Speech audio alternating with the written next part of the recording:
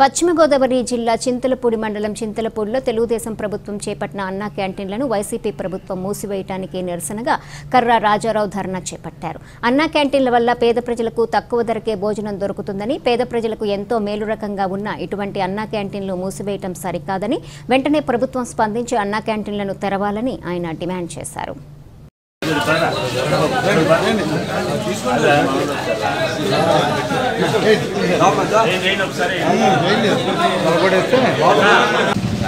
కాబట్టి మీరు ప్రజలు మీరు ఏదో చేస్తారని చెప్పి ఎంతో నమ్మికతో మీకు అధికారాన్ని అప్పచెప్పారు. అటువంటి పరిస్థితుల్లో మీరు హుందాగా వ్యవహరించండి. మరి ప్రతిపక్షం కూడా మాకు కూడా మరి అనేక మంది మరి తెలిసినటువంటి పరిస్థితుల్లో మీరు ఏ విధంగా కలిశారో ఏ విధంగా ముఖ్యమంత్రి అయ్యారో అనే విషయం కూడా మరి ప్రజలందరికీ తెలుసు. కాబట్టి ముందాగా వ్యవహరించండి ముఖ్యమంత్రిగా.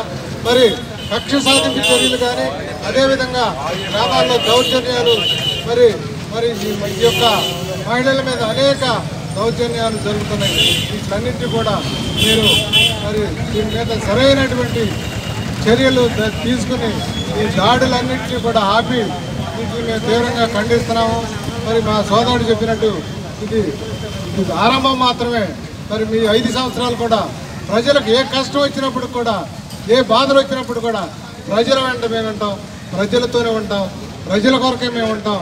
వారి కొరకు ఏ సమస్య వచ్చినా రోడ్డు మీదకి వచ్చి వారి కొరకు వారి కొరకు పోరాటం చేస్తామని చెప్పి తెలియజేసుకుంటూ జై తెలుగుదేశం. అన్నా క్యాంటీన్ అన్నా క్యాంటీన్ వెంటనే అన్నా క్యాంటీన్ వెంటనే. అన్నా క్యాంటీన్ వెంటనే. తీసుకోకపోతే మన చరిత్రలో వచ్చినటువంటి అవకాశాన్ని మీరు సద్వినియోగం చేసుకోండి.